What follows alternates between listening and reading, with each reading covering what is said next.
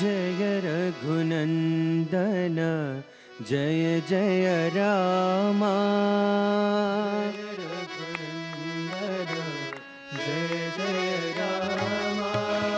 जय रघुनन्दन। जय जय रामा।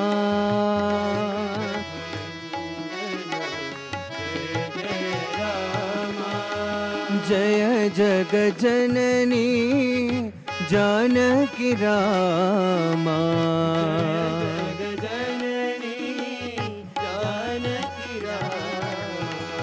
जय जननी जानकी रामा।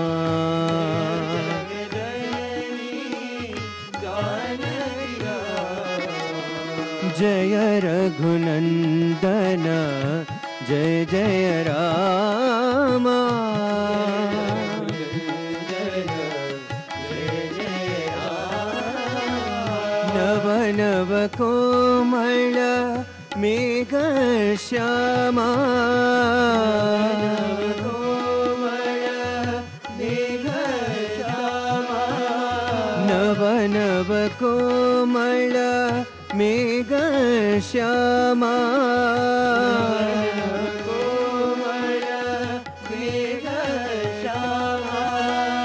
भवहरणा भद्राचल रामा।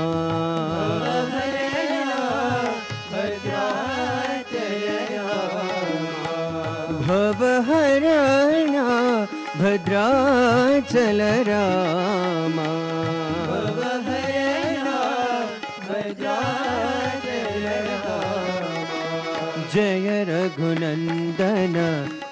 जय रामा।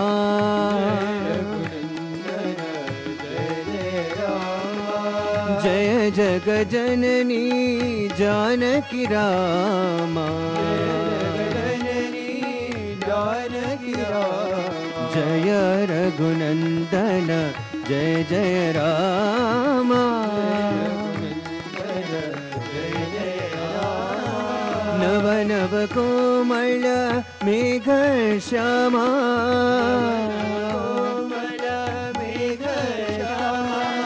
भवहरणा भद्राचल रामा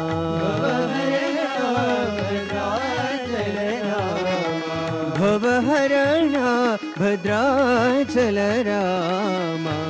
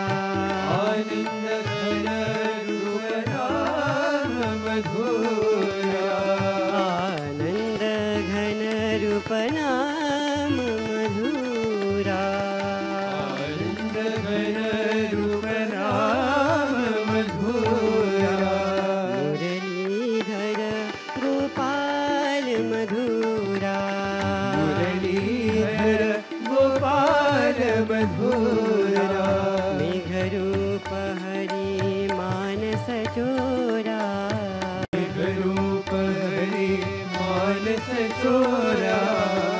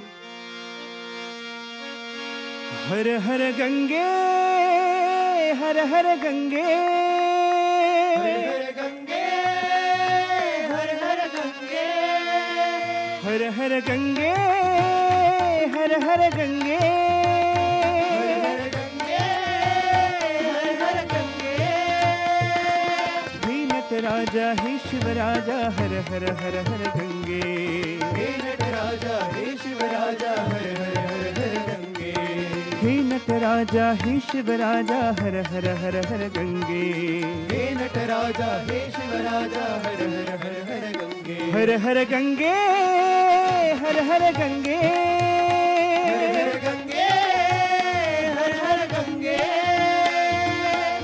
पृथिपुरीश्वर जय गङ्गाधरा धरा जय गङ्गाधरा धरा जय गङ्गाधरा जय गङ्गा हर हर हर हर गङ्गा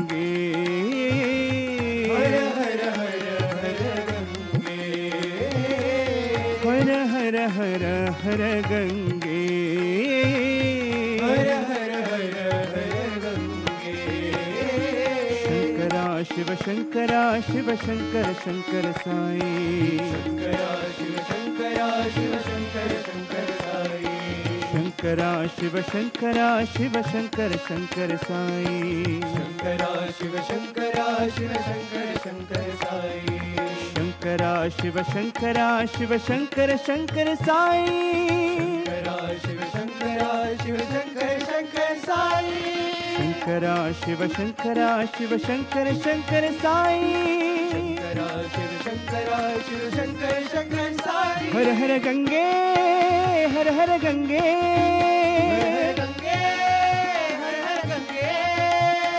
हे नट राजा हे शिव राजा हर हर हर हर गंगे हे नट राजा हे शिव राजा हर हर हर हर गंगे हर हर गंगे हर हर गंगे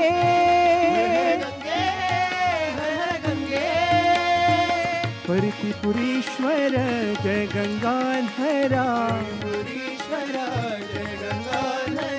हर हर हर हर गंगे। शंकरा शिव शंकरा शिव, शंकर शंकर साई। शंकर शिव शंकर शिव, शंकर शंकर साई। शंकर शिव, शंकर शंकर साई। शङ्करा शिवशङ्करा शिवशङ्कर शङ्कर साई शङ्करा शिवशङ्कर शङ्कर साई। हर हर गङ्गे हर हर गङ्गे श्री वासा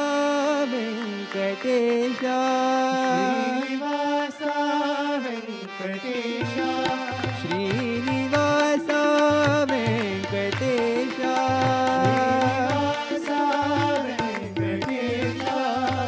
जन परिपाला सैषा जन परिपाला सैषा जन परिपाला सैषा जन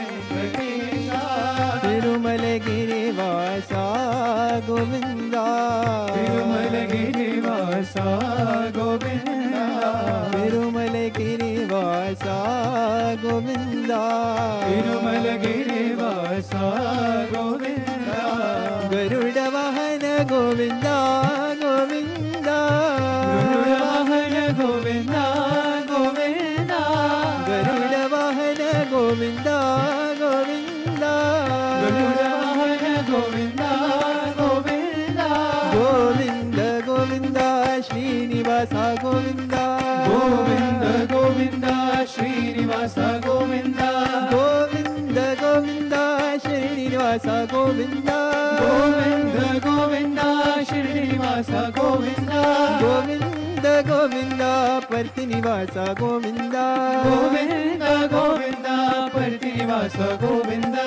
पर्तिनिवास Govinda Govind Govind पर्तिनिवास Govinda Govind Govind पर्तिनिवास Govind Srinivas Venkatesh Srinivas Venkatesh श्रितजन परिपाला सैषा श्रितजन परिपाला Aisha Tirumale giri vasa Govinda Tirumale giri vasa Govinda Garuda vahana Govinda Govinda Garuda Govinda Govinda Govinda Govinda Srinivasa Govinda Govinda Govinda Srinivasa Govinda Govinda Govinda Srinivasa Govinda Govinda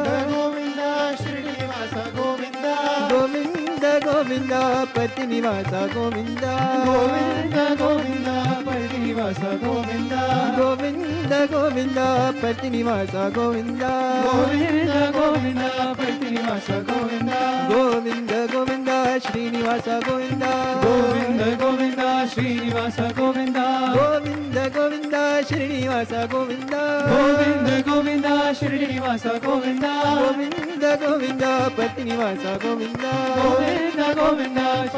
Govinda, Govinda, Govinda, Pati Govinda, Govinda, Govinda, Pati Govinda, Govinda,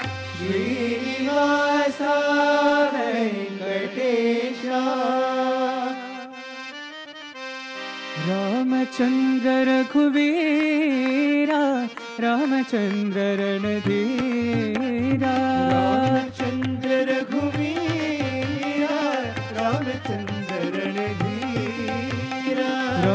Ramchandra रघुवीरा Ramchandra रणधीरा। Ramchandra रघुवीरा Ramchandra रणधीरा।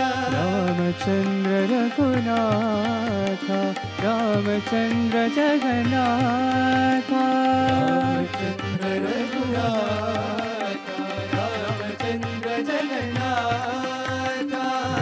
Ramchandra Raghunath Ramchandra Raghu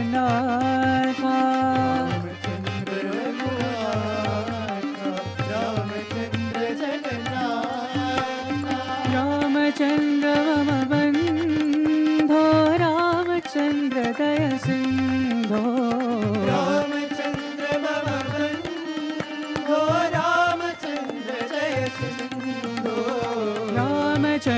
मम बन्धो रामचन्द्र दय सिन्धो रामचन्द्र मम बन्धो रामचन्द्र जय सिन्धो रामचन्द्र रघुवीरा रामचन्द्र नदी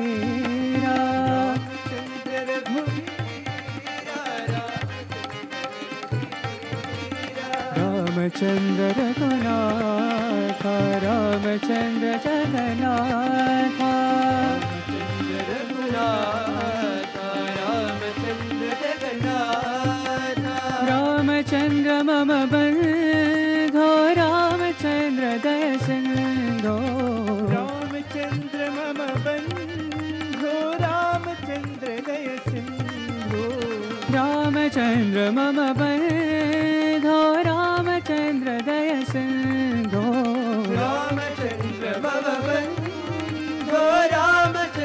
रे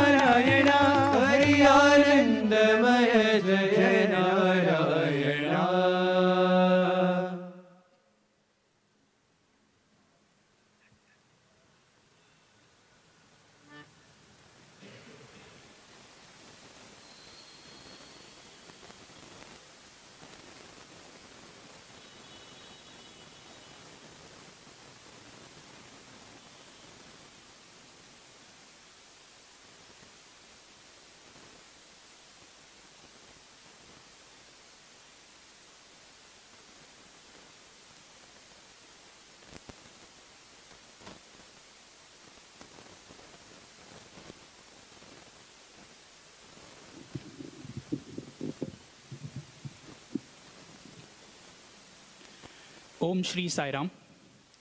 I offer my most humble pranams at Bhagwan's divine lotus feet. Respected guest and speaker for the day, Shri Sai Shravanam. Elders, dear teachers, and my dear sisters and brothers.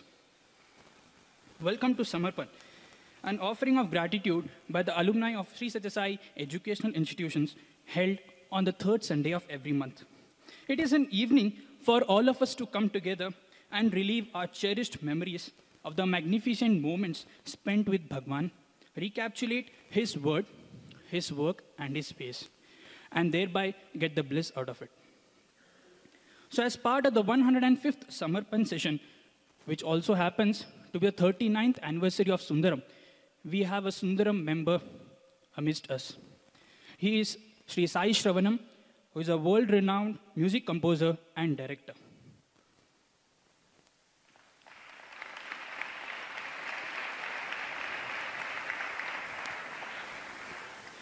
A skilled musician, music composer, sound designer, and entrepreneur, Sri Sai Shravanam has created a benchmark quality in all of his endeavors with a single minded devotion towards music and sound technology. Sri Sai Shravanam was born into a family of Sai devotees to Mrs. Vijay Lakshmi and Mr. Ramani in the year 1981. Bhagwan had formally named him Shravanam, which means to listen, at the tender age of four. He completed his Balvikas in Chennai, during which he was incubated into the Sundaram Bhajan group. And since then, for the last 25 years, he has been playing tabla in the Sundaram Bhajan group. And he is an active member of the Sathya Sai organization. He has performed several concerts in the physical presence of Bhagwan, and in the year 2003, Swami had given him keen attention and guidance and asked him to start his own venture in music. Following the guidance of Bhagwan, he had initiated a company called Resound India, which Bhagwan had himself consecrated on the 19th of January 2007. He is uniquely recognized as one of the few classical trained sound designers in the country, and his innate capacity as a musician, coupled with commendable sound recording and production ability, has given him a unique stature in the international music production field. He has turned science into art, which has changed the perspective of classical music recording in India. The government of India has also conferred upon him the Sangeet Nataka Akademi Yuva Puraskar in the year 2018 for his exceptional contribution to the field of classical arts through music and sound technology. In the year 2012, his versatility fetched him commendable recognition as a sound recordist, additional engineer for the Oscar Award winning film Life of Pi by 20th Century Fox, directed by Ang Lee. In the year 2015, he was the first to be credited cumulatively as the Indian music producer, music arranger, scoring and recording engineer, and musician for the blockbuster bioepic movie The Man Who Knew Infinity, a Hollywood film on the legendary mathematician Ramanujam. In the Indian film industry, Sri Sai Shravanam has performed exclusively for legendary music composer A.R. Rahman, both in his soundtracks as well as live performance. He has also engineered many of the classical works for Maestro Ilaiyaraaja. He has also been conferred upon the Madhura Murali Puraskar, which was given specially by Dr. Bal Murali Krishna for being the only sound recordist who has specialized in recording Indian classical music. As a self-trained tabla player, Sri Sai Shravanam gave his first performance as a tabla player at the tender age of seven. And since then, he has performed extensively with various acclaimed artists all over the world. And he won the Child Prodigy Award, Yugadi Puraskar, for tabla, along with some of the most renowned artists in the year 1996. Since 2014, Sri Sai Shravanam has played a very important role as a music collaborator, apart from being the principal percussionist in a mammoth international project initiated by Mandolin Srinivas, which is the Global Sai Symphony, consisting of musicians from 18 countries, 111 artists, and eminent scholars all over the world, composed and conducted by Dr. Michael Kohler from the Leipzig Philharmonic Orchestra and composed by Mike Herting from Germany. This was premiered for the 90th birthday celebrations of our dear Bhagwan. Sri Sai Shravanam has also been serving the Radio Sai under the direct instruction of Bhagwan ever since its inception on all its projects. His instrumental music compositions and bhajans are very well recognized over many years by the Sai fraternity. He was also the core contributor to the Prema Pravaham project initiated by Swami for his students on the 80th birthday celebration. So without taking much of your time, I would like to request Sri Sai Shravanam to come out to the dais and address all of us. Sai Ram.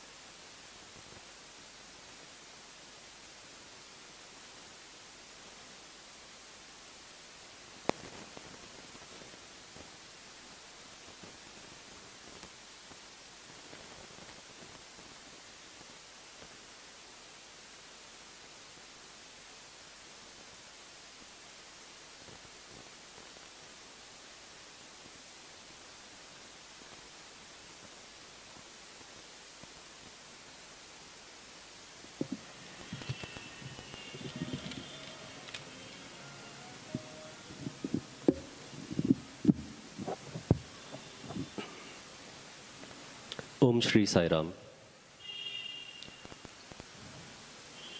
Offering my most sincere prayers and salutations at the lotus feet of my beloved mother, Sai. revered elders, respected teachers, my dear brothers and sisters, Sairam to all of you.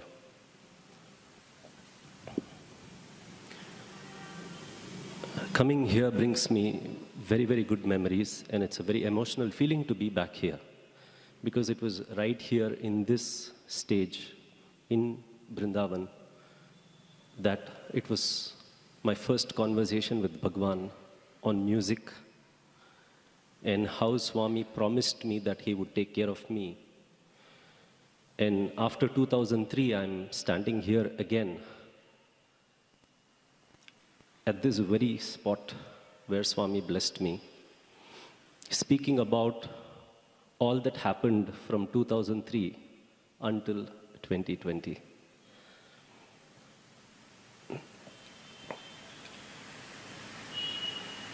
A very long introduction about me was given. The more I was introduced to you all, the more heavy my heart was because I miss Swami a lot. but Swami has been constantly been with me, taking care of me, my family, my career,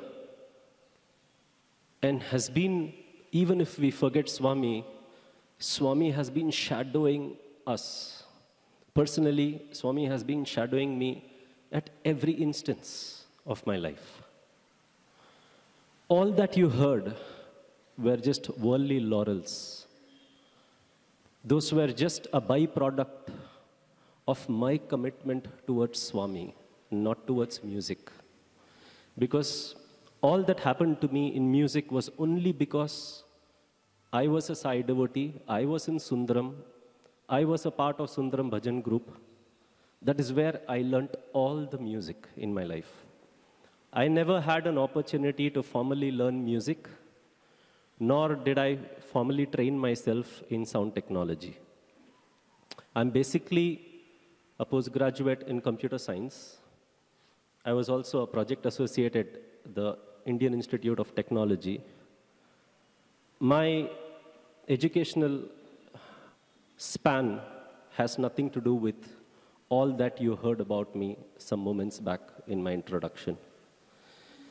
And when such an introduction is done, your feet tremble. Because if you had put in effort to learn music, if you had spent time being formally guided, if you would have studied, then you could probably assimilate the fact that, okay, we did something and then the result of that is all that you were hearing some moments back. But now, I've never been introduced so elaborately before. I'm thinking to myself, why was all this? What is all this? Why is it that there is some kind of a recognition that when people achieve something, be it in music or sports or in your academics, why is, that, is it that people look up to you? Well, Swami said once when somebody had told Swami, Swami, talent is a gift of God, Swami promptly replied, No, talent is God. And then you realize that whether you're a musician, whether I'm, a, I'm in sound technology, or whether I'm playing any instrument, it is Swami who works through us. We have to be fit as an instrument for allowing Swami to work through us. Especially in my case, let me tell you very, very honestly in this august and revered gathering, I did not take any effort in music. I did not sit day in and day out practicing any instrument, but I had only one mission. I had to please Swami. I had to do something so that I gain Swami's attention. My activity in Sundaram Bhajan group was what was keeping me always encouraged in music.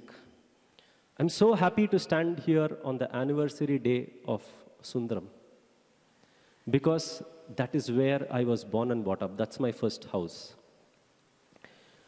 See, when I was, because you're all here as students, I'll tell you, being in Swami's institutions, whether it is in Balvikas, whether it is in his college, whether we are members, we are Sevadals, the amount of exposure that Swami gives you is immense. You will not get it anywhere else in the world. What Swami gives you is richness of culture, arts, morality, and character.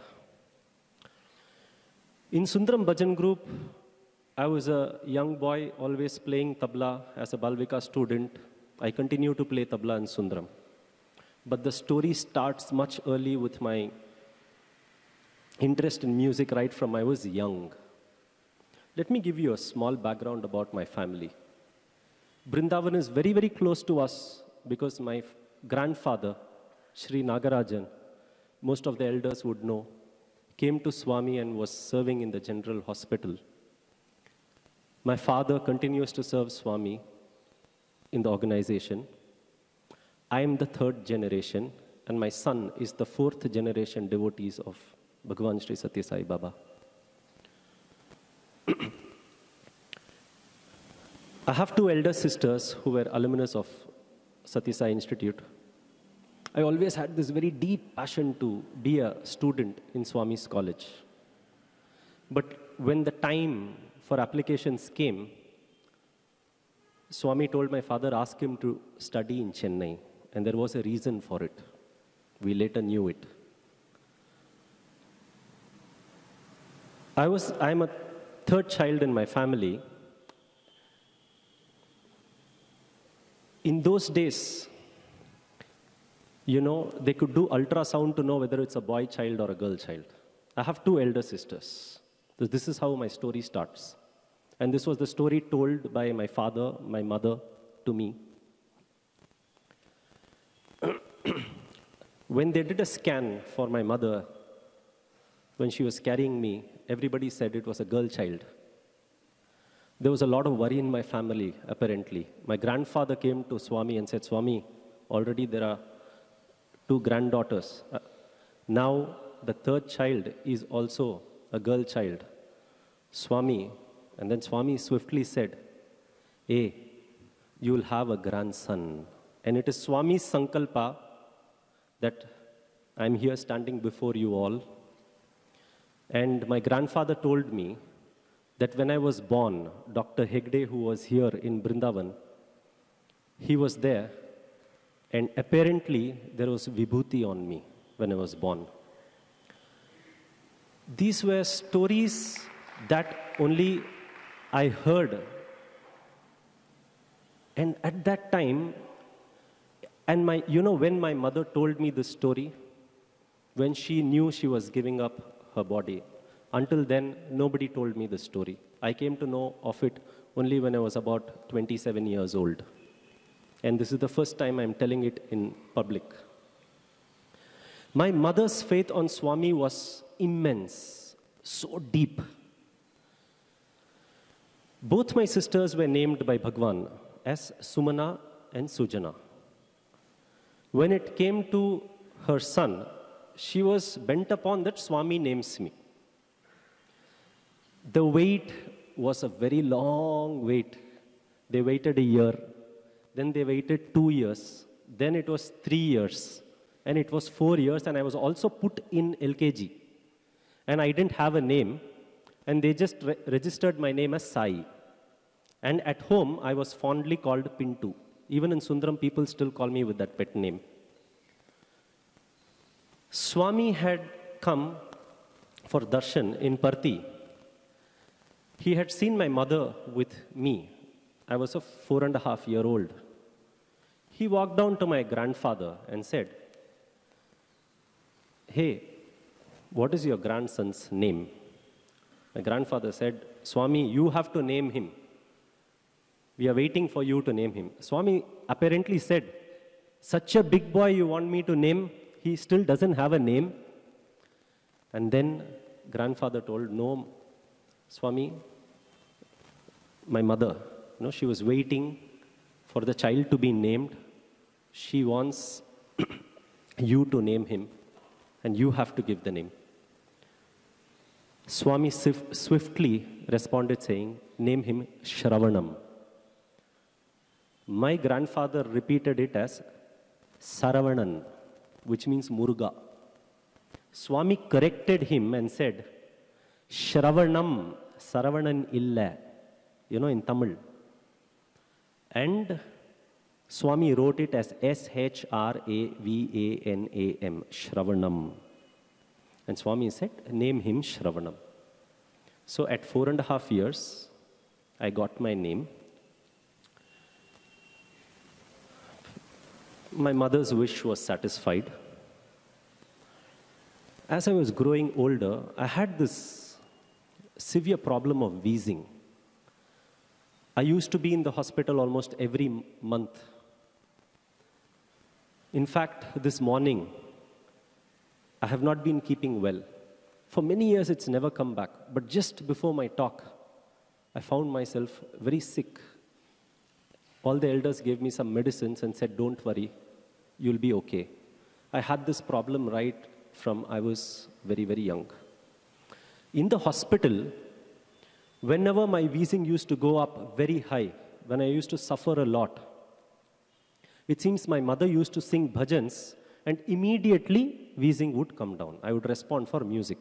But if they give nebulizer, oxygen, or anything, I would not respond. So the doctors used to come and tell, Mrs. Ramani, why don't you sing? That's when your son is getting better. And my mother used to sing bhajans with which I used to calm down when I was sick in the hospital. Why am I telling all these stories? Is just to let you all know that destiny is something that is already decided. Swami knows everything of you, right from when you were born to before you were born to after your being in this world. Swami can change anything.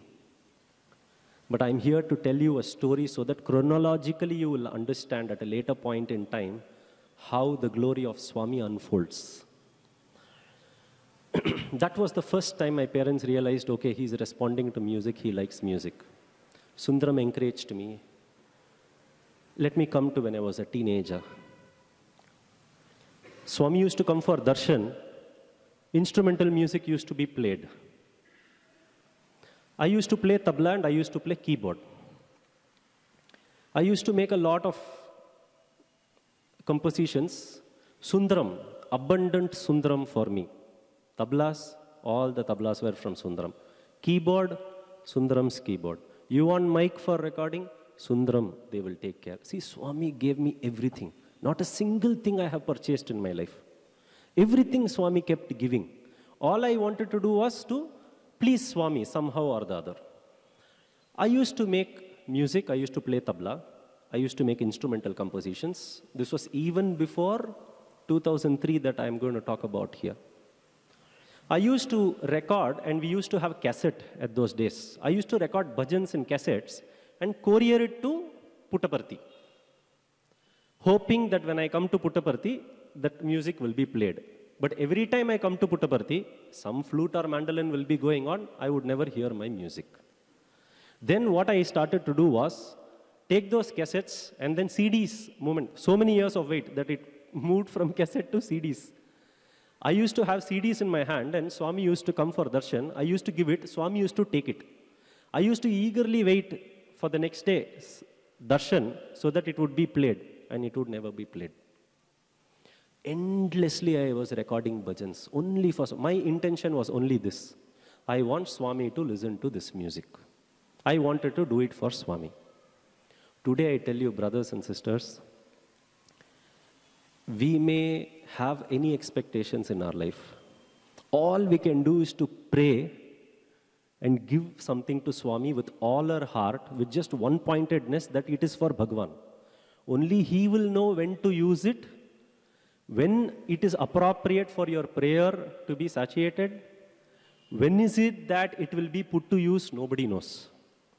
Today, after many years, when I'm going back on stage, you are playing that music. It is 2020. I recorded the song that you are playing now when I was going on stage in 1999. Today, all those instrumental music has been used in Radio Sai, in, in so many different documentaries of Swami, and then you realize that whatever you do for Swami, Don't ask questions. Don't expect results immediately. Swami knows when to use and when is it appropriate to use whatever you give to Swami. I was slowly started to be pulled into music. We used to wait to come to perform in, as Sundaram Bhajan group, we used to wait to come to perform in front of Bhagwan. And the opportunities were very rare, you know. To get an opportunity, that too for a program, and you have a chance to sit in front and play for Swami and for Swami's eyes to fall on you was the greatest mission for me. There was nothing else in life. There was a mission impossible, you know. It's, it's like that. You just have one mission. Swami's eyes must fall on you when you play tabla or you play keyboard or when you sing. Whatever it is, Swami must look at you. After many, many, many, many, you know, Sundaram Bhajan Group was strict. They would give me chance only if I would come to a certain age, certain height, so that you can sit in the front and play tabla. One such great opportunity was in the year 2003. In 2003, we were all here. The Bhajan group had prepared a program. It was a blessing in disguise that we didn't have many instrumentalists. So there had to be somebody who had to play tabla, also somebody who had to play keyboard. And I was very, very particular about sound. I wanted the best sound, best mixing. So I thought I will also bring a mixer, balance the whole music program myself, and only play it back in Sai Ramesh Hall. So what had happened? My Sundaram Bhajan group, one of the senior members said, see, in front of Swami, you cannot clutter yourself with so many tablas, keyboard, mixer. So go and sit in the back. So first dream was shattered. I was thinking I'll go and showcase all that I wanted to in front of Bhagwan. And the senior member comes and says, you have to follow instructions. I was just in college at that time. Morning was supposed to be the program. They had put me in the fourth row. I still remember it was way back there. I was broken. I was more interested in will Swami know that I am playing tabla? Will Swami know I am playing keyboard? Morning, thank goodness the program didn't happen. Some bhajans happened. We didn't know if in the evening program would happen. I went back to my room. I was very upset. I still remember it was the room A2 here. I told my mother, Amma, I worked so hard for a music program. We want to present various forms of music to Swami. I'm playing tabla, I'm playing keyboard, I'm doing the mixing. And they put me in the last row. My point was not even about Swami. I wanted to communicate with the other members so that they start the music on time, you know, they follow the music cues, etc. My mother just told one statement. She said, See, you are doing for Swami. Wherever you sit, Swami will know. And have the faith that whatever you're doing, it is going to Swami. It does not matter whether you're in the first row or the fourth row, only think of Swami. I still remember I was very aggressive. I told my mother, Amma, it is very easy for you to say because you are not playing. I know I have been practicing for so long and I wanted to sit in the front. My mother said, It's okay, only think of Swami. Evening, we were all seated down. I still have that video. We were all seated down. Darshan music started. I was in the fourth row, there behind. Suddenly, one of the devotees came, I still remember, from the stage here, and said, Swami wants Sundaram Bhajan group to go on the stage. At that time, we all had to take everything and rush on the stage. Everybody went and occupied the middle of the stage. There was no way to go back. All I could do was to come ahead of them and sit in this corner. So, whether I asked or not, I got a first row, nice corner to keep all my instruments very well showcased. the program happened. We finished the program. Swami said, continue. We, our stock was over. We didn't know what to do. We, we had a limited program, one hour. Swami said, continue. We repeated the same songs again. the songs were repeated. And then midway, Swami came on stage. Swami had blessed me. At that time, Swami asked me, Enna pandra, what are you doing? I said, Swami, computer science master's pandra. I want to do music. I want to do PhD in music. That's what I told Swami. Swami, I still remember, uh, I was, my head was bent down, and Swami was talking to me. So I said, Swami, I want to do PhD in music. Swami said, நான் சொல்றேன் என்ன பண்ணணும்னு I will tell you what to two Swami's instructions was very clear. And then Swami said, Inga vasicha poradu. It's not enough if you play here. Go out and play. You will get more experience. What Swami meant was, go and perform in concerts, play more, and you will get more experience. It was only from then I started going out and performing in professional concerts. I had this immense faith that Swami has told, okay, he'll guide me. So from 2003, I was very, very, very, very keenly waiting for Swami to guide me. I used to go to Puttaparthi, I used to give letters. Then my letters changed to, Swami, I want to play tabla in Puttaparthi.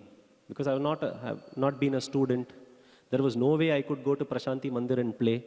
But I wanted to play tabla, for which there is only one route. Be a student, join the bhajan group and play. But I somehow wanted to play tabla in Prashanti Mandir. So my letters were endless letters to Bhagwan saying, Swami, I want to play tabla in Puttaparthi. Swami used to lovingly take all the letters, but I never had a chance for a long period of time. And then what happened? From 2003, I finished my studies. Then I was in, I was working I was working in um, voice synthesis, speech synthesis, all physics, computer science, in a laboratory inside IIT Madras. It was, it was not what I wanted to do in my life, but Swami said, I will tell you what to do. So I was biting my teeth, pulling on, had to move on. You were getting older, you had to earn. It was, it, it was not very easy, you know, especially when you're an artist, you want to be in arts, and then you're forced to do something else. It's a tug of war. I kept going to Puttaparthi, but I had no indication from Swami. 2005, Swami was in Kodaikanal. And in 2005, when Swami had come, the mic system there was not good. When Swami gave the first discourse, he was not very happy. So we got a SOS call saying all the sound system from Sundaram must be moved to Kodaikanal overnight, and for tomorrow's morning bhajan, the sound system should be ready in Kodaikanal. There was nobody available. Everybody was busy. Just three of us. We could leave everything and rush. We put it all in a van, rushed to Kodaikanal. We set up the mic system. I don't know. It was all like a. It's it's like magic, you know. When Swami says something in 12 hours, everything gets done. If if you think of it now, it's impossible. By evening, we took a van. Midnight reached, fixed everything, and then Swami comes for darshan. Bhajans happened. What, what happiness myself and another brother of mine, Mr. Sairam from Bhajan group, we were there waiting for Swami's reaction, you know, loud sound. Swami came straight to me and said, "Swa- sound bagaledu.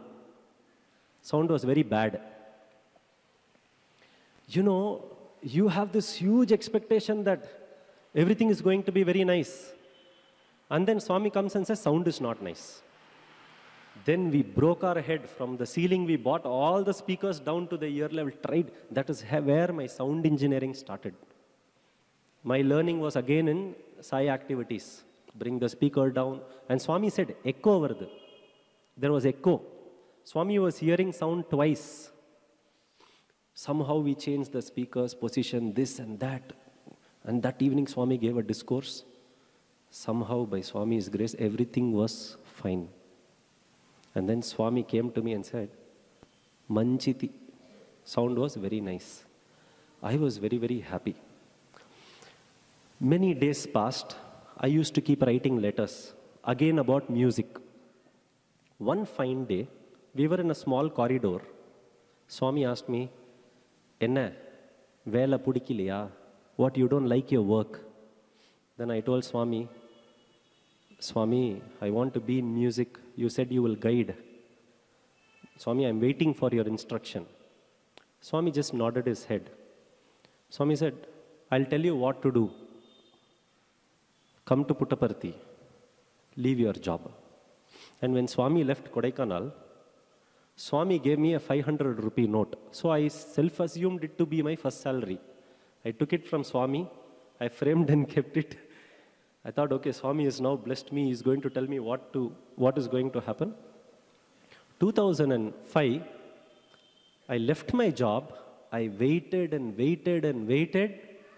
Umpteen visits to Puttaparthi, Swami would not look at me, not take a single letter. Anywhere I go and sit, Swami would not look at me. All I used to do was go there, go help in Radio Sai. I used to go to the music college, take classes. Test started. Number of letters, eh, you know, you get the, I used to take tokens, so go early, get that first row token, somehow find your place. There was no way I could gain Swami's attention. There was one moment where I was very upset at home. Everybody around me were very successful. I didn't know whether I was going to be in music. I did not know whether I was going to continue something to do with my education. Fury, my personality started changing. My attention on Swami started to drop down. My faith on Swami started to drop. Because Swami told in 2003, I'll tell you what to do. I mean, how long could you wait? I did not have the maturity to understand Swami at that point in time. My faith was shaking. There was a moment where I used to, I used to be very, very upset. I used to tell my mother, Amma, Swami said, uh, I will tell you what to do. But he's not told. How many times can I go to Puttaparthi? There was one moment where I still remember there was Swami's picture right next to me. I was like, all because of this Swami, you know, I was in fury. My hand hit the photo, the photo fell down, and the glass broke. Swami's picture broke. I was devastated. I was like, that was not my intention. But uh, my restlessness was raging. Immediately, I came to clean it with my bare hands. I don't want to use broom. I started crying. My mother said, See, what is the point becoming so aggressive? Be calm. It's okay. Swami will guide you. I cleaned that. I decided I would never repeat that in my life. I kept waiting. I kept waiting. I kept waiting.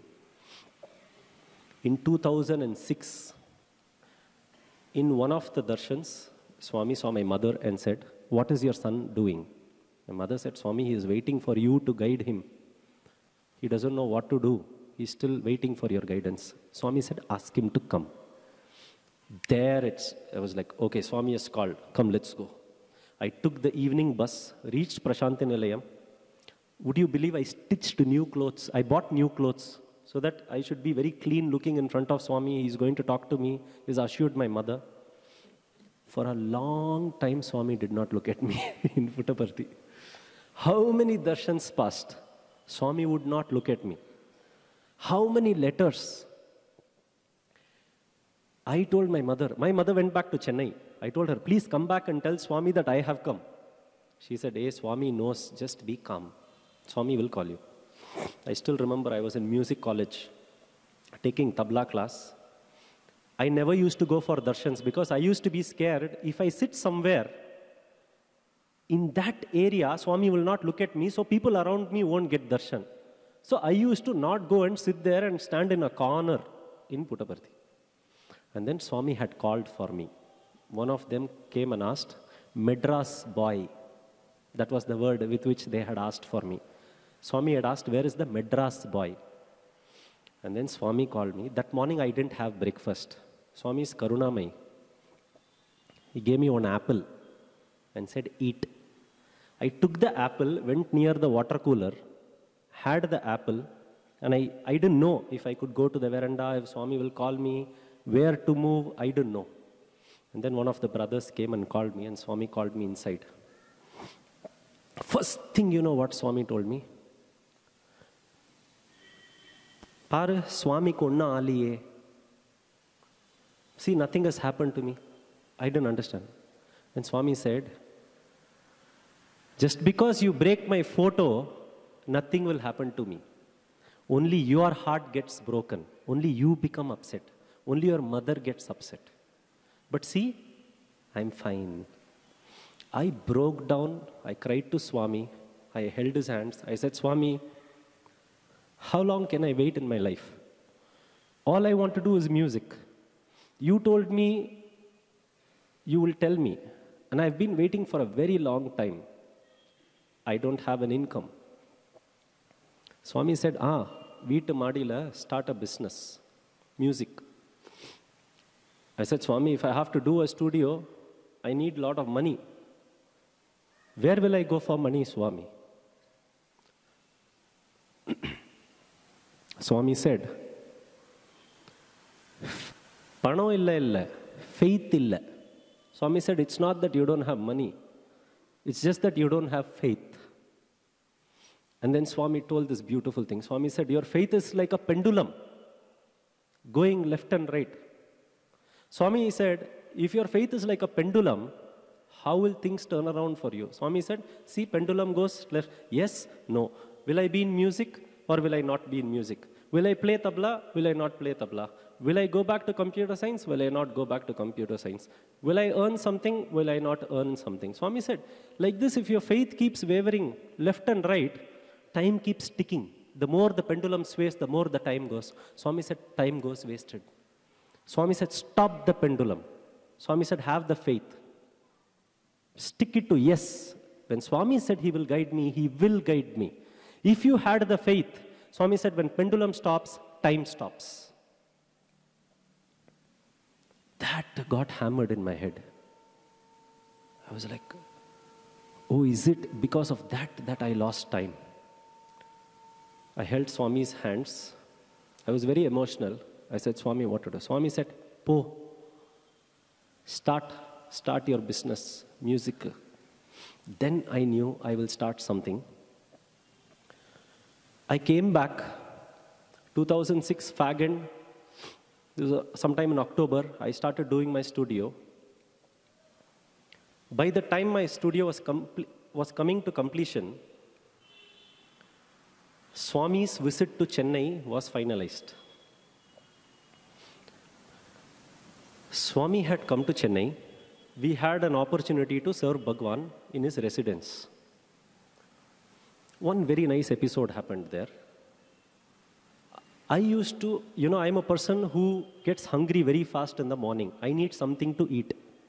One of the days, Swami didn't come out for breakfast. What had happened? We were waiting, waiting, waiting. Time was going on.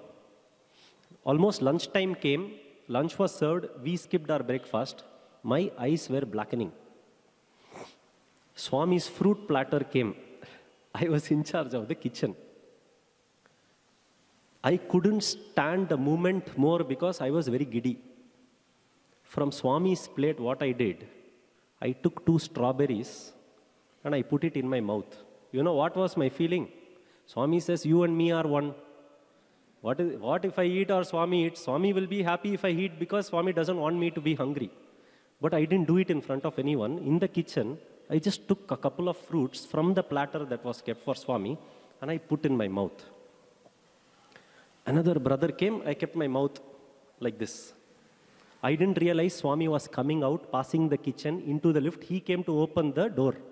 Swami saw me and said, Sapita cha, did you eat? My mouth was full of fruits. I didn't even chew it. I was, if I open my mouth, I'll be out of that place. I'll be thrown out. I kept quiet. See, Swami was so compassionate. He looked at one of the office bearers and said, These boys don't eat from morning. Give them daily fruits, juice. Daily give them juice. From next day, we were loaded with juice and pastries and whatever, you know. Swami just looks into your heart. That's all. Why? It was just a, something that I wanted to share with you all that he knows everything. Even casual things, Swami knows. The next day, my father was an office bearer. At that po- point in time, he was the state president. My father, Swami had called for him. He saw my father and he said, In the paya yaru, who is he? My father looking at me, Swami Bhajan group boy Swami. He didn't even tell that I'm his son. Swami looked at me and Swami said, Idi yaru? I said, Swami, state president Swami. Swa- Swami was looking at, looking at us like this. The father, son, duty, so state president, Bhajan group. Like that Swami was doing. Very, very sweet expression of Swami. Swami was asking about the salary of all the boys there. How much you're earning, how much you're earning. I was scared. I was the third person that Swami was going to ask. I didn't have a single penny. My studio was getting ready. What will I tell Swami? Swami was asking, everybody were telling skyrocketing salaries. When it came to me, I was just looking at Swami. And Swami asked me, நீ என்ன பண்ற? I said, Swami, studio பண்ணிட்டு இருக்கேன். I'm just doing a studio on Swami's instruction. நான் சொன்னேனா? Did I tell you? I was like, oh my God, is this starting all over again? Swami only told me. I said, Swami, நீங்க சொன்னேலே.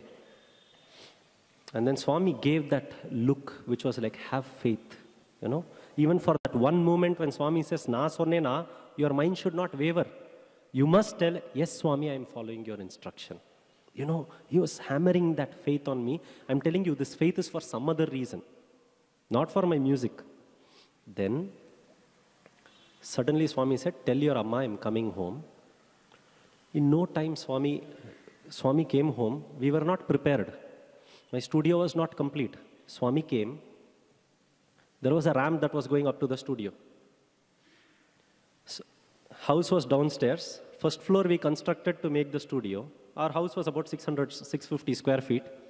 On the first floor, we extended it a bit and made a studio. Swami came by. Business enge? First question, Swami. From the car shed. I said, Swami, Madila. And then Swami straight came upstairs. He didn't come down to our house. Swami came up the ramp, very quietly asked me, Ramp edukku? Why is the ramp for? I said, Swami, very difficult to carry instruments, Swami, in staircase. I could not put a lift. I put a ramp. No, Swami was very clear in his answer. Swiftly he said, Ramp enakku. I decided many years back that I will come. And this ramp is for me. Look at how beautiful it is. We think we are doing something. I designed that ramp so that people can bring instruments. Not even once did I think that it was for Swami to come to my studio. I did not have any feeling. Swami was there. He came up, he came into the studio. Swami was very happy. Swami said, Music is a universal language. Take music across the world. And then Swami made one statement. அம்மாவை நல்லா பார்த்துக்கோ take care of your mother. See, studio is here. And then he looked at my mother and said, Amma, you know, Swami was happy. He said, Amma, Sai Kupid, call him Sai. He'll come there immediately to look after you. See, studio is upstairs, you are downstairs, your son is there to help you. What more do you want? It was so nice. It was like as if all the angels come together. Swami is there celebrating your studio, telling, see, your uh, job is on the first floor, your house is downstairs, your parents are down. And then Swami said, Sapad no, Sapadu konduva. My mother had bought food. We had arranged everything downstairs. Quickly, we bought everything to the first floor. Next to my studio, Swami was having food. And then Swami asked me, Enna yosikere, what are you thinking? I said, Swami, you're doing Atirudra Mahayajnam. So many yagams, yajnam is happening. If I go to a temple, if I go to a Shiva temple, if I go to Vishnu temple, whatever temple I go, only Sairam is coming in my mouth. I am thinking, if I take a 300 rupee bus ticket and I come to Puttaparthi, I will see God. Why should I go to temple? Why should I go to Yaga, Yajnam? Swami, you are there. You know what Swami responded to me? Swami said, You need not call Rama, Krishna, Allah, Yesu, Buddha, Mahavir. Why? He said, Sai Baba kuda venda. Don't even call my name. Swami said, you do your duty and take care of your parents. I will come in search of you. I, it was very startling, you know. It's a very different perspective. And then he looked at my mother and said, ah, ma, payan kalyanam panidu, get him married. I was thinking I didn't have any salary, I'm young, I was not interested in getting married So many things in my head. What to do? Swami lovingly convinced us. And Swami told my mother, Amma, I'll tell you in English. In Tamil first, I'll tell you. மாட்டு பொண்ணு வருவா நல்லா சாப்பாடு ஊட்டி விடுவா Your daughter-in-law will come and she will feed you food. My mother said, Swami, if daughter-in-law comes, I will take care of her like a daughter. I will feed her food. You know, Swami, Amma, see, your son is settled well now. Studio has come up. Both your daughters are settled. You rest. You think of Swami. Daughter-in-law will take care of the family. நல்லா சாப்பாடு ஊட்டி விடுவாங்க she will feed you food very well swami used his hand like this and told everything seemed like angels everything was great super blessings of swami everything coming together studio started work started Uh, i'm going to get married daughter-in-law will come nice daughter-in-law who will take care of my mother. Everything looked so nice green beautiful. Then all my years of letter to play tabla in puttaparthi. One day i was in puttaparthi. I came back to chennai. In in just a day i received a phone call from one of the brothers a sai student who takes care of swami all the boys who serve in yajur mandir one of them called me up and said swami was asking for you today are you here in puttaparthi I said, No, sir, I'm back in Chennai. He said, Come. I, I reached that morning. That evening, I took a bus. I went to Prashanti. And then uh, he said, Swami wants you to play tabla in the mandir. Not being a student, not be a part of this thing, and they allow you to play, it was great. You know, the innocently I rushed to the mandir. I met the bhajan group boys and I said, Swami has asked me to play. Very nicely, they gave me a reply. Sir, Swami has told you, we have not got instructions. Please go and wait outside. I am here very confused. Swami has sent information. Swami has wanted me to play tabla. They are telling they have not got instruction. And that bhajan, I was sitting outside, my faith was rattling. What is happening? Then the next day morning, I was called by the bhajan group. I sat. Swami came for, uh, for the bhajans. Swami introduced me to everyone. I played tabla and Swami asked Sai sir, எப்படி வாசிக்கிறான் is he playing well? You know, that is how I started playing tabla. Then Swami, okay, this was not this, okay. Chronologically, I'm telling you what all is happening. It is not Swami satisfying me by giving an opportunity to play tabla in front of him because I wrote so many letters or I like music. Swami gave an opportunity for me to start interacting so that he makes me stronger and stronger. Every time I go to Puttaparthi, Swami would talk to me. Swami would uh, ask me, Hey, tabla, epo vanda? Sometimes he used to tell me, tabla organ boy. Then, in December, just before Christmas, I had this one slip. You know, I used to write slips and keep. When I used to play tabla, I could not take and give it to Swami, no. But if Swami sees that slip, he will ask. Then in one hand, I can give it to him. I used to be very planned. I had written saying, Swami, you have not given interview to our family. Will you please give one family interview? We have never had an interview as a family. Morning bhajans, I was the only tabla player. I gave, Swami asked, the moment he saw it, he asked for the chit. So I gave that, Swami saw it, and Swami nodded his head. And then after the arti, Swami called me and said, New Year ku amma Aishinva, amma appa va. Swami said, for New Year, come with your parents. And Swami pesare. Swami will call and talk to you.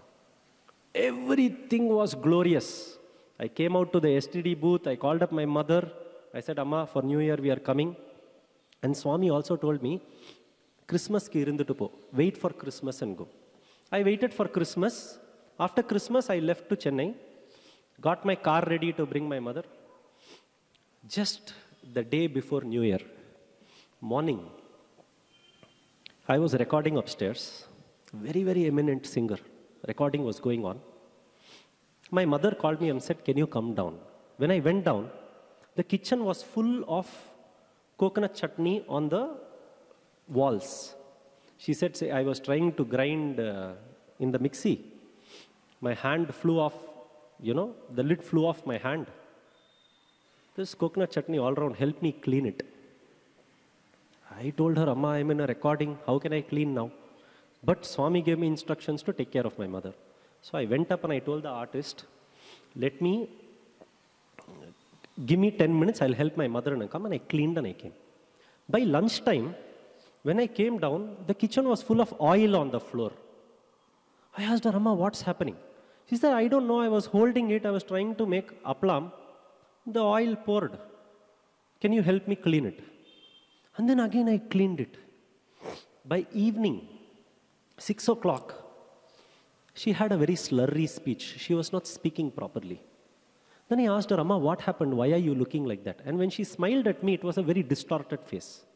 I immediately called one of the Sai devotee doctors. See, Sai family is the biggest family that we can have in our lives in this Janma. The amount of connections Swami gives you, the love with which Sai devotees come to serve you, even with money you can't buy. You cannot. You can be a millionaire, but for people to come at the beck and call, only in Sai family it will happen. We, we all must be so thankful to Bhagwan that we are his devotees. One of the doctors came. One of the doctors came and he said, No, no, this you have to do a brain scan. We went to the brain scan, there was a lot of commotion. And then they said some contrast MRI must be done. And then there was commotion. I am trying to call my father continuously. My father would not pick up his phone.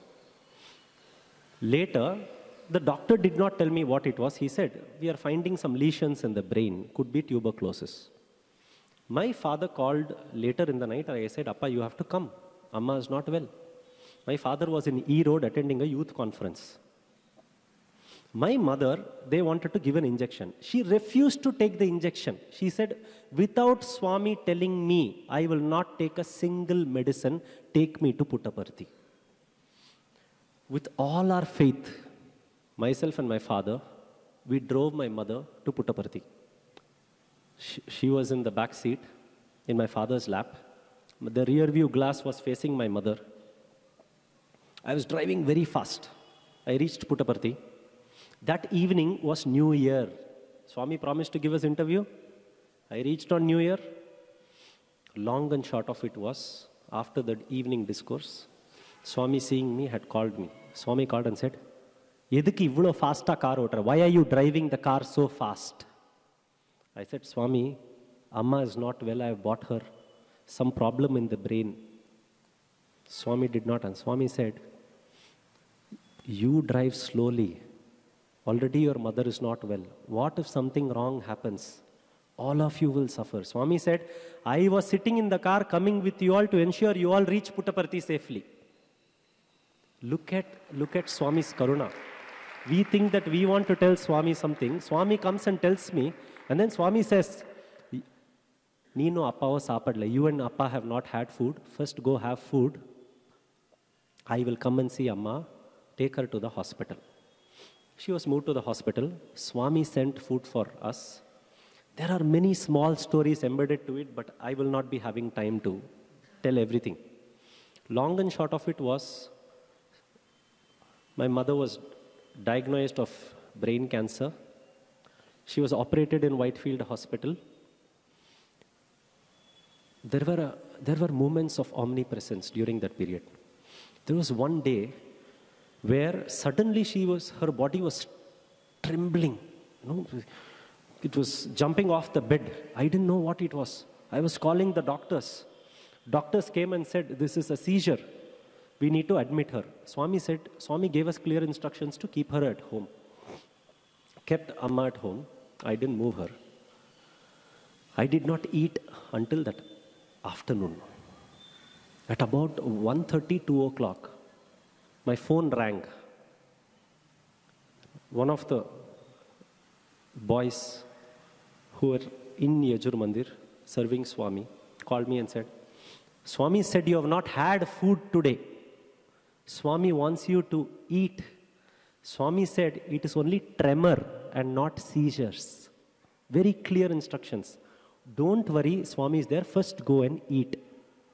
And call me back and tell me that you have finished your food.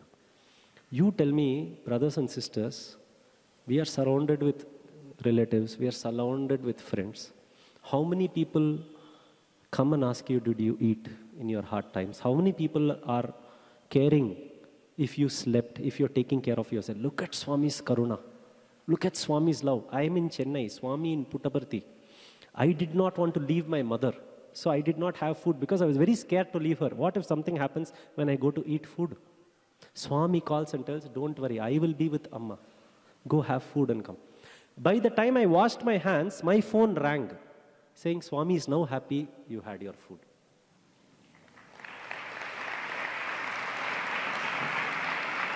We are here sometimes having omnipresence as something that we recognize and we go to Swami and ask for acknowledgement. Here, we are not even knowing that Swami has been looking into us every minute of your life, right with you.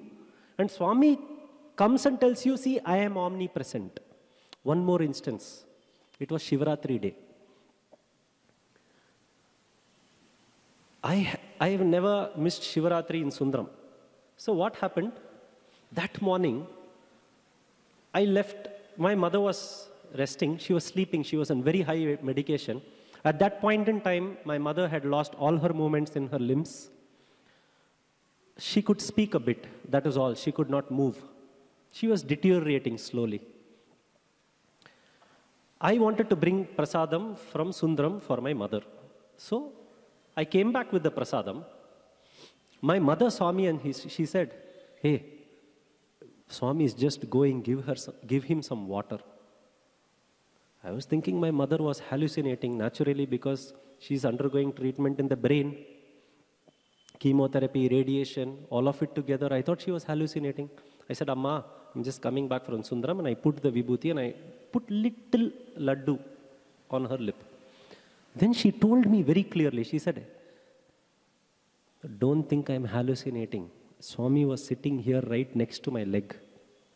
He asked me where you are. I said, I don't know because I didn't tell my mother I was going to Sundram. She was sleeping. She said, Go. Then I said, Amma, rest. And then she also didn't tell anything. In a few days, when I went to Puttaparthi, Swami saw me and he was so angry. Swami said, Buddhi ledu, don't you have sense? Why did you leave your mother and go to Sundram? And my mother said, Swami came in a yellow color robe. Apparently, that Shivaratri in Puttaparthi, Swami came in a yellow dress. Even that I don't know. Swami said, I had to leave everything, go to your house and wait with your mother until you had to come back from Sundram and I was sitting right next to her leg. I broke down. I told Swami, Swami, I went to only take your prasadam. Swami said, Don't come to me leaving your parents. Swami said, Take care of your mother. This was again the second time Swami insisted that you take care of your duty and your parents, and Swami will come in search of you. What happened? Another moment of omnipresence. I realized, okay, Swami is here telling us that we should fully serve Swami. It was my mother had passed on. On that day, just as I was getting down, we had to accept her loss. Swami was there throughout, giving us all the, you know, support as a family. Swami was backing us up with so much love. We have seen so many stories of cancer cancelled, isn't it? Swami, if you want, can just say cancer cancelled and you could live. But we and our family, we are so thankful to Swami because if Swami would have cancelled the cancer for my mother, we as a family would have never realized the love and glory of Bhagwan that he gave to our family. Swami was so loving to all of us during that period when my mother was very sick. No, none of my relatives called and asked me if I had food. Nobody asked me if I was spending time with my mother, but Swami was constantly taking care of me. Swami ensured I was getting income so that with that income we could buy the drugs that was needed for her. So he kept the studio upstairs. At the call, what did Swami said? Swami say, Ma call Sai. He will come. You rest, daughter in law will feed you food. From the day I was married, after the brain operation, my mother's hands didn't work. My wife was feeding her food every day with her hand. Swami knew everything. At that point in time, we all don't realize that Swami knows everything. We, we, you don't know at what instant Swami says something. You don't know in what context Swami says. It will reveal itself. So, my weight, my education, today the society respects me because I have studied very well. If I would have just done music, I don't know in Indian culture how much people would look up to me. I have a very good professional education behind me. Today, I was there through that harsh period. When I was asking, I was asking Swami for my mother, you know, if Swami will. I will elaborate it at a next opportunity because I cannot finish on time. But Swami was very, very kind. Swami took care of us. My mother had passed on. I still remember just after doing the final rites, as I was climbing down the stairs, my father was on the phone. And he was going to a corner and speaking. He kept the phone and with a smile, you know what he said? Somebody called me from Puttaparthi, one of the office bearers there had called my father and said, Swami wanted to convey, Amma has reached him.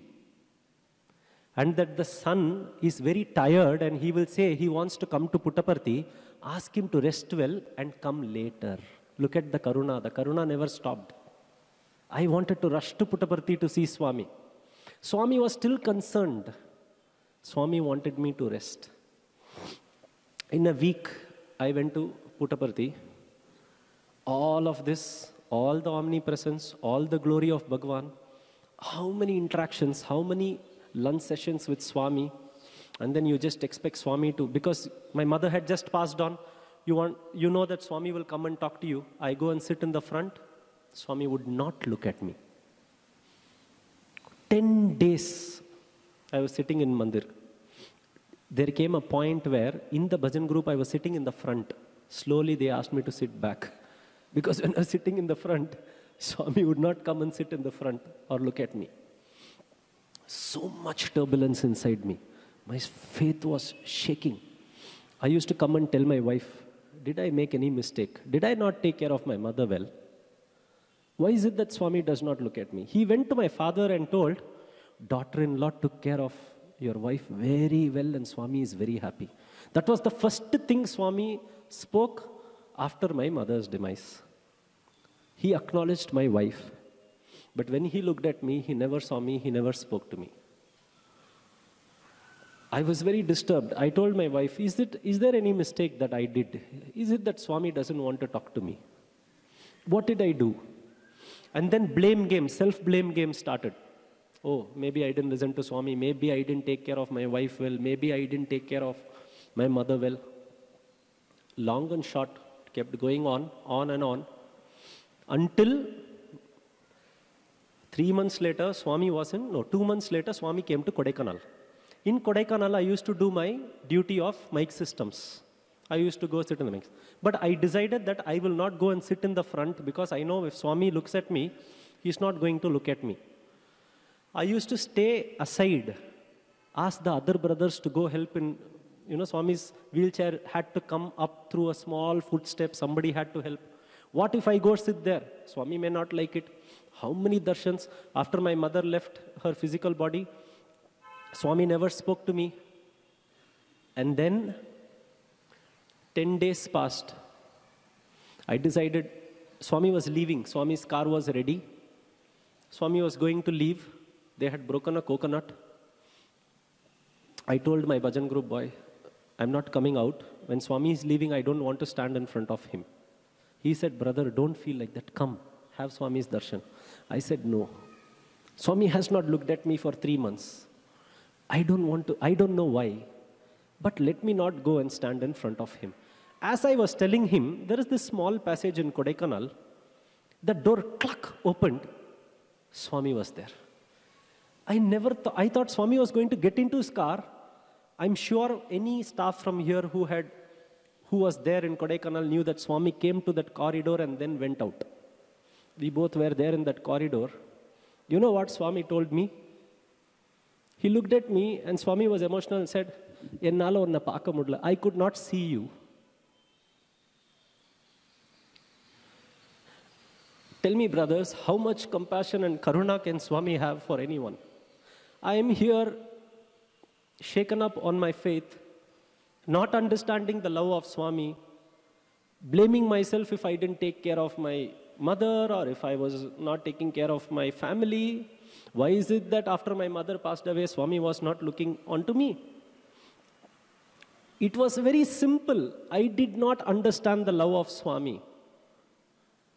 Swami said, I could not see you. That was Swami's love for us. I held Swami's hands and I said, Swami, na parango dhairyama irukke. Swami, see, I am very confident. See? And I was smiling and I said, Swami, I am fine. Swami was emotional. And then I told Swami, and then Swami said, Ah, உள்ள வெளியில தைரியமா இருக்க உள்ள இல்ல inside you you broken but out side you very confident and then Swami gave me vibhuti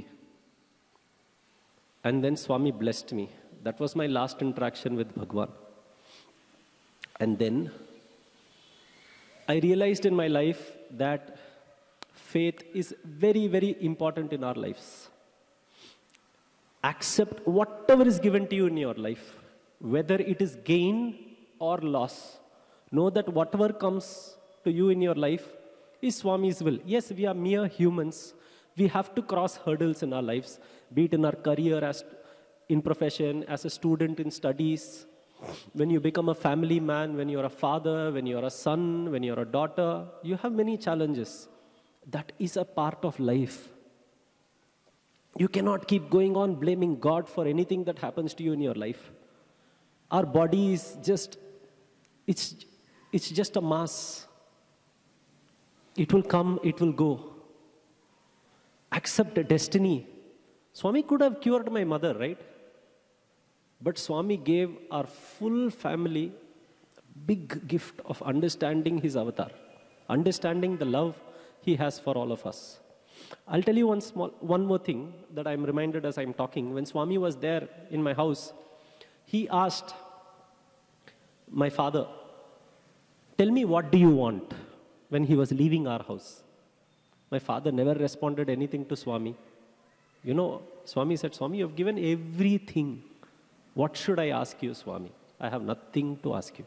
Then he looked at my mother and said, Ennama, I'm asking Ramani to tell me something. He's not asking anything. Sollu, tell him. And then my, my father saw Swami and he said, Swami, எல்லா இருக்கு Swami. Swami, everything is there. I have nothing to ask you. Then Swami was co- patiently looking at us. Just me, my sister, no students, no guests, no my father, mother. And then Swami looked at my father and said, Sollu, tell. And then my father said, Swami, in our family, my grandfather was the devotee. Now I am a devotee. Now my son is a devotee. Grandchildren are born.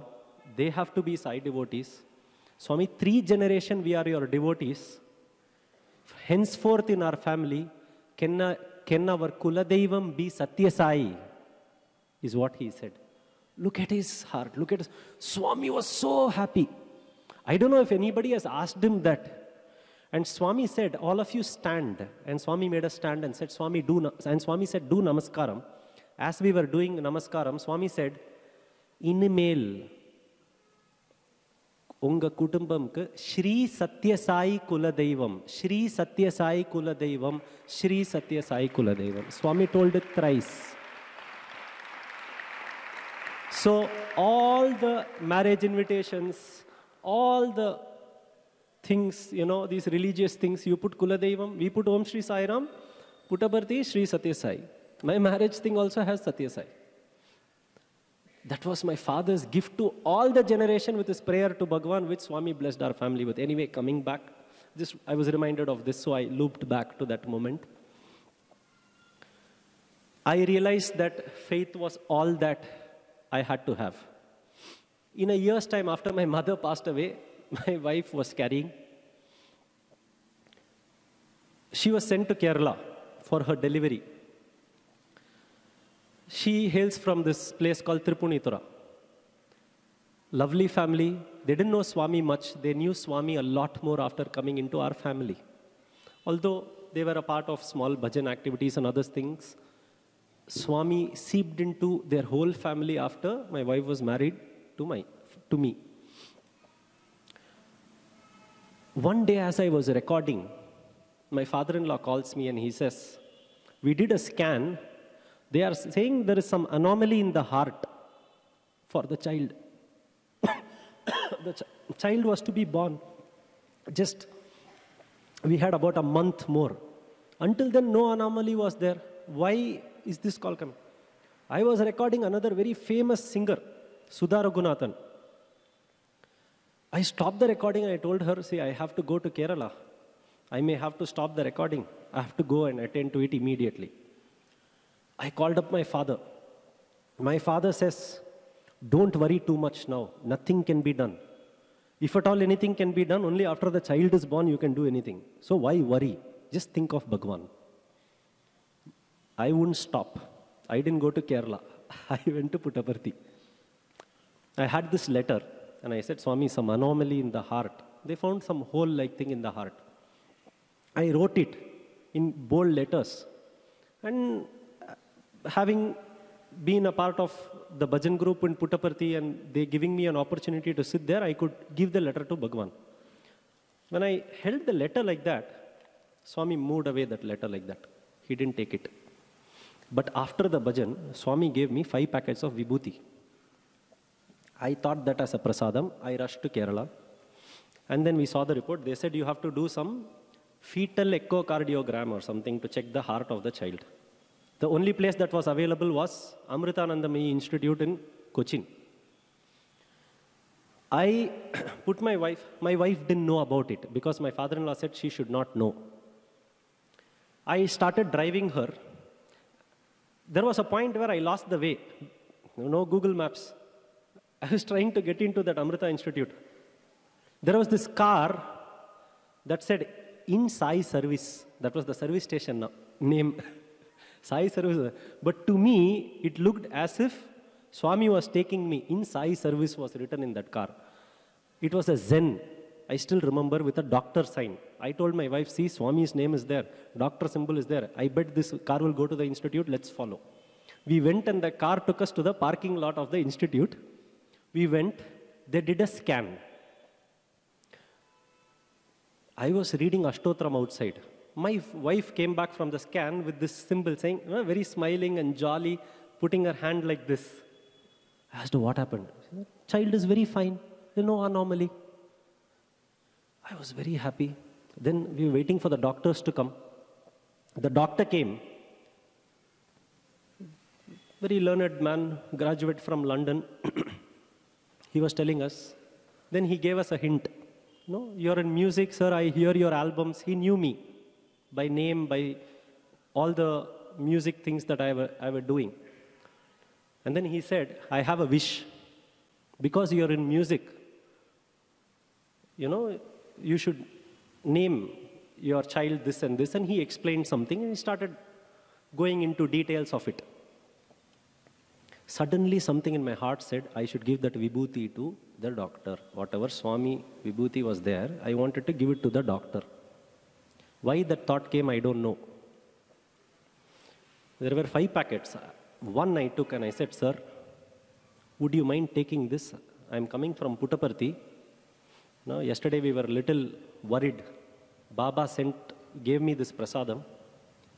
I told, God comes in the form of doctors, no? Swami has told many times during my mother's thing that I will work through the doctors. So I wanted to give that prasadam to the doctor. So I took that vibhuti packet and I gave it to the doctor. Very hesitantly he saw me and took the vibhuti. He removed his shoe and then he took it. And then he told me, I still remember very clearly what he told me. Sir,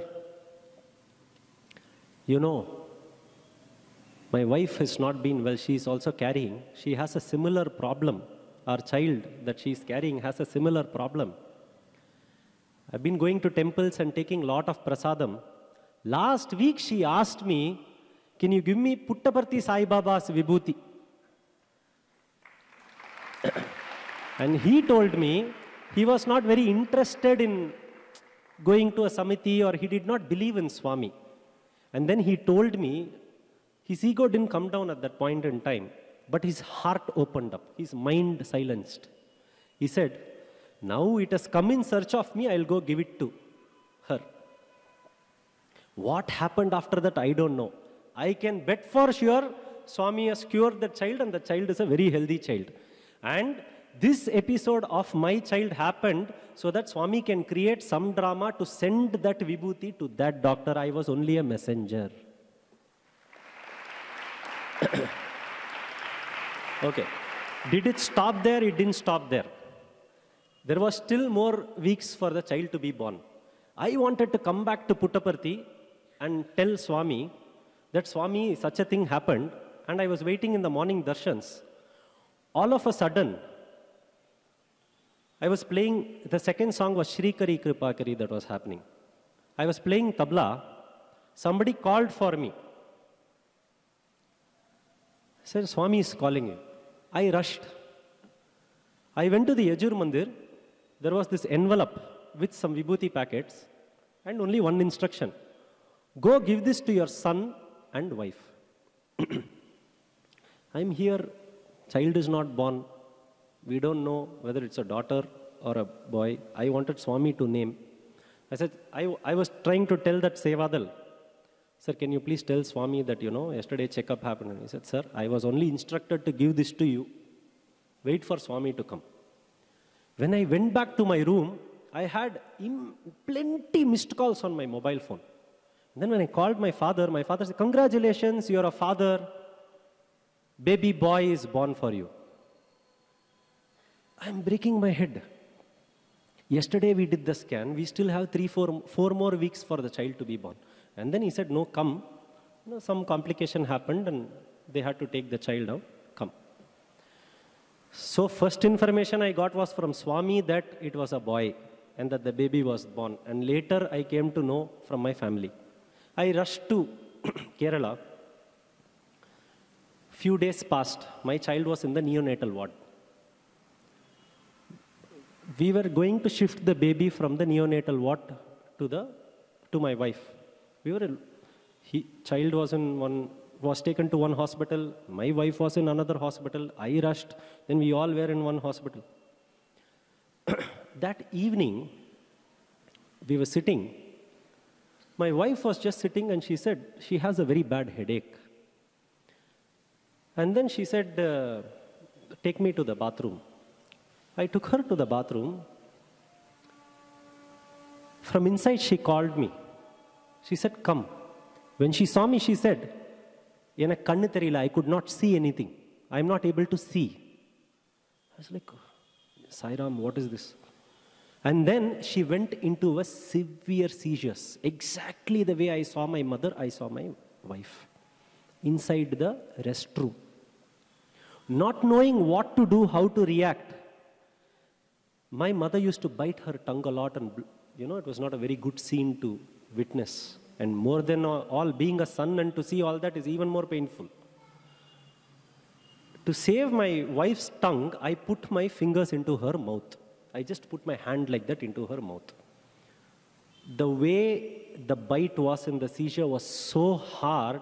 In the pain, I swooned and I fainted. I don't know what happened after that. Later, all I knew was the nurse was taking me to general ward. When I saw for Savita, they said she's been taken to ICU. I was in the general ward, child was in the neonatal ward, my wife was in the ICU, full family in the hospital. This was just an year after my mother had passed away. my, my fingers were swollen, I had bandages. Paying money, my credit cards were dry because in that hospital, we had to pay then and there every day. I came out of the general ward. I came to the ICU. I wanted to see my wife, and they did not allow me to see. They said she's been having constant seizures. At that time, faith started to slowly grow in me. When my mother was alive, I wanted her to live. I was always praying for her to live. At this point in time, when so much was happening, I decided I have to leave everything to Swami. I was praying and praying. It was midnight. The nurse came and told me, one of the nephrologists came and told me, her kidneys are not functioning properly. Her myoglobin level in the blood is very high. She's quite critical. Are there no elders here? He asked me. I was thinking, Swami, what is this? What on earth is happening?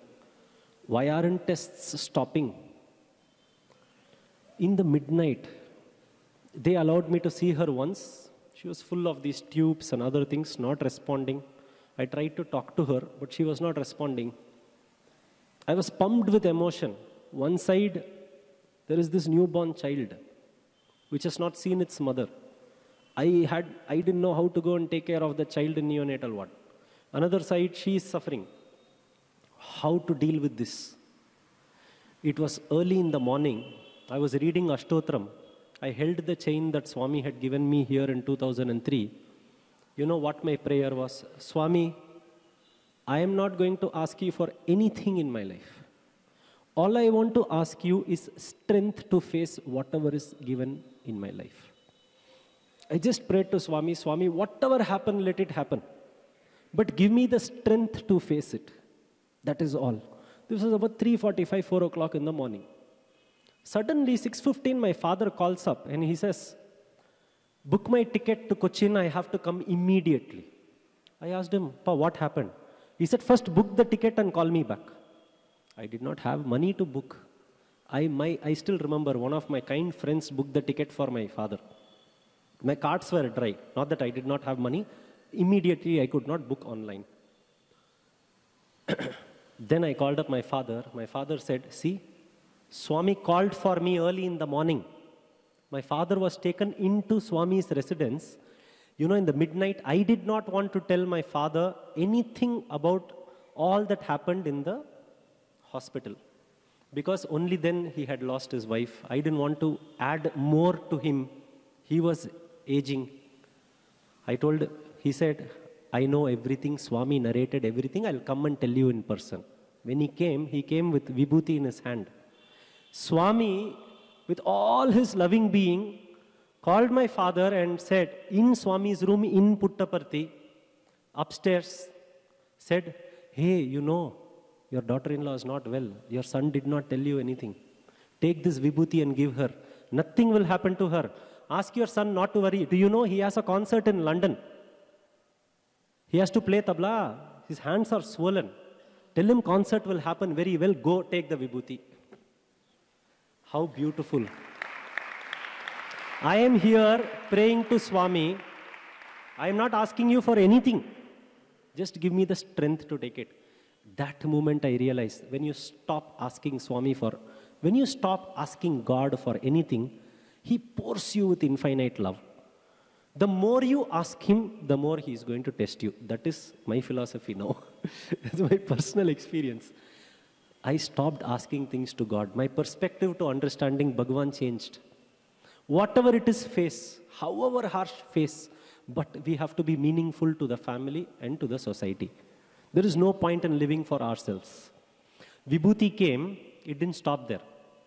My father wanted to put the vibhuti in her mouth. In the ICU, they didn't allow the vibhuti to be put in the mouth. So we, you know, we mixed it with water, little under the lip we put. In about six, seven hours, she came back to consciousness. In two days, she was shifted back to the room. IV drugs, the same drug that was given to my mother, Eptoin, which is anti-seizure drug, was going in my wife's hand. I was thinking, Swami, all the suffering in these drugs I've seen for so long, now my wife is also undergoing the same thing. Fine. Whatever drama it is, let it happen. And I was just quietly there. Not much support, you know, it was very difficult. You know, if you're alone, and I was not very old at that and I'm just that my hair is great, I'm not very old. You know, it was, it was not very easy to undergo all of that. But I kept holding on to Swami. I kept holding on to Swami. At that point in time, I am very sure now to tell you all that I had the faith to accept anything that He would give me in my life. Pain or gain, I was ready to accept it. One evening, at about 7 o'clock, my mobile phone rang. One of the students, again from Yajur Mandir, called and said, Swami wants, wants you to take your wife and go home. I was not understanding. IV is going on. She was just out of the ICU. How could I take her home? But my faith on Bhagwan was blind, I tell you. Blind with faith, huh? not merely blind, with a lot of faith. I went to the superintendent and I told, see, I am Bhagwan Sri Sathya Sai Baba's devotee. I still remember my words. I said, I have got divine directions that I should take my wife home. In that hospital, they were regarding me very well because whatever treatment was happening to her brain and this thing, they were thinking I am a doctor because the amount of knowledge I gained when I took care of my mother, I was talking like a doctor to them about drugs. Suddenly, I tell them that I want to take her home. They were thinking something was wrong with me. Then the superintendent said, See, you look so learned, everything is fine. Suddenly, you say, How can we? We need to taper the drugs, then you can take her home. Then I called my father and I said, See, I've got instructions like that. My father said, Pray. They will do their duty, doctors will do their duty, but pray. I was praying. At about 8 o'clock, 8.30, the next IV, they had to change that.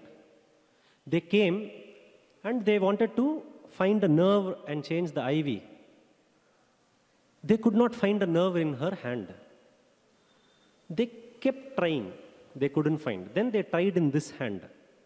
They couldn't get a proper nerve. Then that nurse went and called the chief nurse. That lady came and she was trying to, you know, find a nerve in the leg. So they had put a belt in her leg and they were going on poking her, and my wife was crying in pain. The drips would not go. Then they tried on the other leg. It was not going. They could not find a proper nerve. Something was happening. They were not successful. Then they called up the neurologist in charge and asked, What to do now? The next dose has to go. The neurologist said, Take the line from the neck. Knowing that, mm, I still remember my mother in law started crying and she went out. She could not take it. I told Savita, don't worry. And then the chief nurse, no, seeing us suffering, me having bandage, one child, she is not well, she said, okay, we will see. And then they found some nerve in the leg. Trust me, not a drop of that medicine went into her, I don't know how. It was Swami's Sankalpa. Swami said, No medicine, take her home. The drips would not drip. I was there to physically witness it. This is no drama. This is something that happened real. When Swami wills that no medicine should go in you and you are supposed to go home, nothing can change. The drips would not drip. Next day morning, that whole night, the dosage of medicine was not given. They gave an oral tablet. Next day morning, the neurologist came. He knew the IV was not working. I still remember, you know, that medical pad. He took the pen, he scratched it like this. The paper tore. He said, fill up a form and take her home against medical advice. Having Swami in my heart, with all my happiness, I signed the form. We didn't even use an ambulance. We took her in a Maruti 800 that my father in law has. Put her in the back seat from ICU to one night just in a room, pull out all the medication, brought her home. Till date, we are very, very happy. Nothing happened. This is Swami's Anugraha. You know, in my marriage, I was very, you know, this Graham and other things they will see. And I told Swami, Swami, this Graham match, and you know, I was trying to tell Swami something. Swami said, when my Anugraham is there, no Graham can do anything. So, there are a lot of trials and turbulences you may have in your life. Some people may say Graham, some people may say destiny, some people may say you are not, this is the way you behave. Whatever it is, have faith in Swami that whatever happens in your life only happens with His will. Whatever be the destiny, allow it to be. If at all someone can change your destiny, it can only be Swami who can change it. He will change it when you don't ask for it. I am very, very sure of it. All we have to do is just give in ourselves to Bhagavan fully. We have to see how we can take 85 years Swami has been with us. Immense discourses. Many people, when I travel abroad, they ask me, Don't you want to see Swami's darshan again? Will he be born again? You tell me, have we been able to follow love all, serve all? At least I have not. Could we follow help ever, hurt never? For sure, I have not. And I still want Swami to come physically to give more discourses and to guide us all. 85 years, so many discourses. This Janma, no, another 85 Janmas also, you cannot, it is not easy to follow all that He has given us. So, dear brothers and sisters, I have slowly started to understand the more He is calling me to talk like this, the more He is testing me. The more He makes me talk to people and tell my story, the more He wants me to remember Him more. Probably I need it. This story is not for you all, it is for me. Swami calls me to talk about Him so that I think of Him more. I go back recharged. I may have more tests in my life. My hands are open. I've told Swami, Swami, you will take care of my family. You will take care of us all. I will continue to do your service. All we have to remember is Swami is constantly watching at you, constantly. Five more minutes, one last episode when Swami was physically not there. We were in Langkawi on a holiday. My child was two years old. that was the first time after marriage with the child I was taking my wife for a tour because life was very busy in hospitals for us. We were in Langkawi. My son, there was this escalator. He was playing and he put his hand on the escalator that pulled his small fingers and tore it apart in the middle. His bone was exposed, and like a cauliflower, the finger was open. He started crying, so much blood. It was in a mall. I was like, Sairam, my wife was crying. I put him on my back and I was running. Some lady, she was in her hijab. Usually we see it in black. She was in an orange hijab, you know, full gown. She came running. She told me, I have come, give the child. I didn't know what to do. I gave the child. She, she took my child, put on, put on her shoulder, and she was tapping. She took some medicine. She put it on my son's finger and said, Come, come. And she took me to the cash counter. There was someone who was there, and she spoke in Malay language, asking for a car. the, that lady with two children said, I have a car, and she left all her stuff. She didn't even bill it. She bought her car. You know, I still remember bloodstains were there in the car because my son's hand was bleeding. We were there in the back, her two children in the front. She drove us to some clinic. It was a Sunday. She said, This is the doctor's clinic. Get down here and go in. She dropped us on the road and the car went away.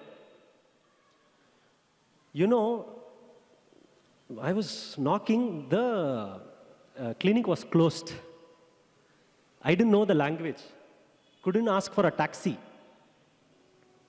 You know, prayers only. I was like, Swami. My son was tired, crying. Then there was a shop nearby, and that man said, Sir, wait for 15 minutes, they will come, they'll open at 5 o'clock. In under 5 minutes, the door opened. When the door opened, full life size picture of Swami in that clinic. Big life size picture. And it was written, Why fear when I am here? Me and my wife, we were crying, we were laughing because randomly in Langkawi you see Swami's picture. Then there was this doctor who was sitting in his table, all pictures of Swami. I told him, Sir, I am also a Sai devotee. He did not even respond to me. He was only busy addressing the wound. Then he did something. Then he taped it and he said, Go back to Chennai. And then, if stitches are needed, take a call, but you go back to India. Now, whether it was in Chennai when I went to Mahashivaratri and Swami came to take care of my mother when he was physically there, or moments when Swami is not physically there, all we have to do is remember him. He manifests. In an island, maybe a clinic can come up, his picture may come up, doctor will come up. I don't know. If you go back, maybe the clinic will not be there. We came back happy. But all through to our family, Swami has been only telling us, don't worry, think of me. I will take care. All you have to do is remember me, and I am there for you. See, Swami is living in us, Swami is in us. But we have to ensure that our words and our action should reflect to others that Swami lives in us. Not that Swami is not in- us. Our words and action should reflect upon the fact that Bhagwan is in us. So I take this opportunity to thank Bhagwan for allowing me to remember all these because I know for sure Swami wants me to remember him more. I am no one to address you all. None of the introductions about me has any relevance to what I am speaking. That is a worldly thing. I have to have a profession. Swami has given music. I will continue serving Swami. Every day's work is Swami's work. Whether I work for a movie or I work for Sundaram Bhajans, my commitment to my work is one and the same. Whatever it is, whatever job you take in your life, dedicate it to Bhagwan. It does not matter. Whatever situation in your life and family you are put to, end of the day, after all the turbulence, dedicate it to Bhagwan. Whatever comes, open your hands, take it. When everything goes, free your hands and look up to Swami. Jai Sairam.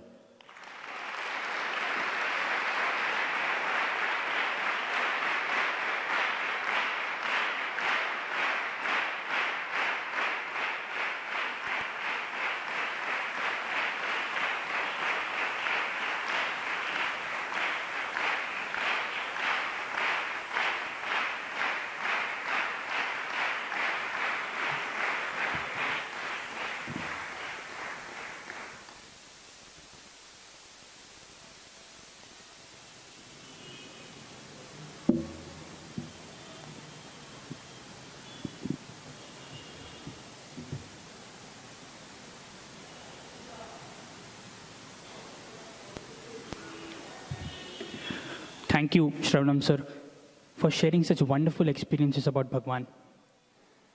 You know, when life throws challenges at us, there are a lot of ups and downs. Each and every one of us faces some up or down, and we think, Am I doing this the correct way? Is Bhagwan there with me? Or is my faith strong enough?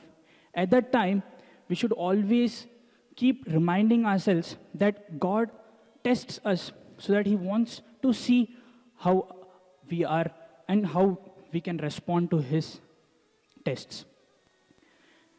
And it is only with immense faith and implicit faith that we can all be closer to Bhagwan and in the end cross this life and be one with Him. I once again take this opportunity to thank Shravanam sir for coming over here in spite of his ill health, taking time of his busy schedule and addressing us, sharing his wonderful experiences.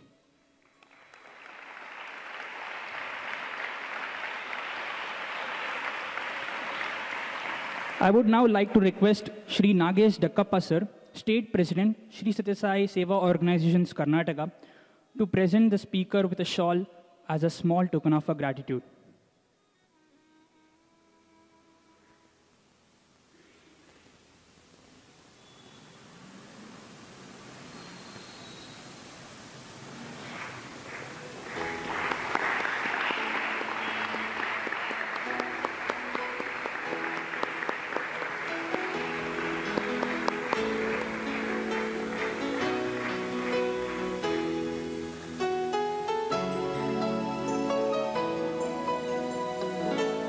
I would now like to request Sri S. Narayan, part of the Brindavan Bhajan group, to honor our guest speaker with a bouquet as a small token of our love.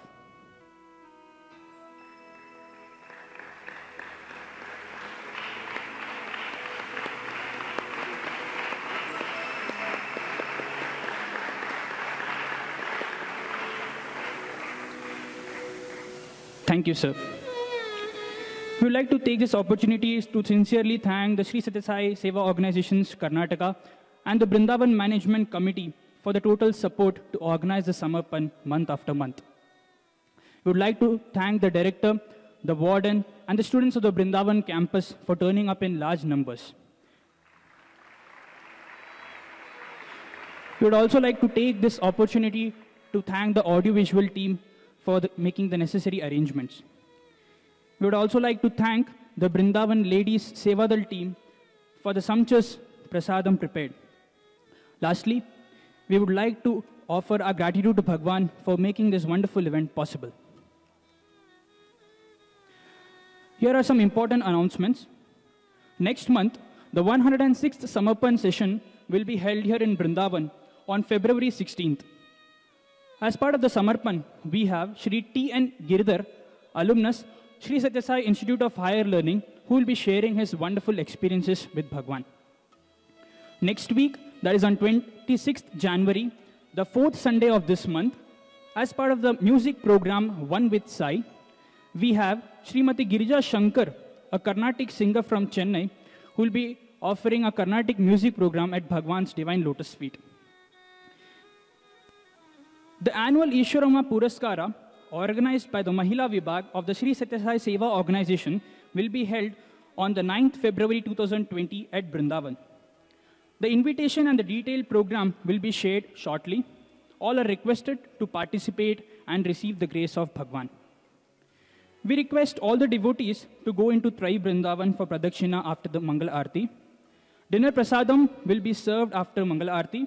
We request everyone here to partake the prasadam before leaving. Now, I would like to request Sri Sai Shravanam to kindly offer Mangal Aarti to Bhagwan. Sai Ram.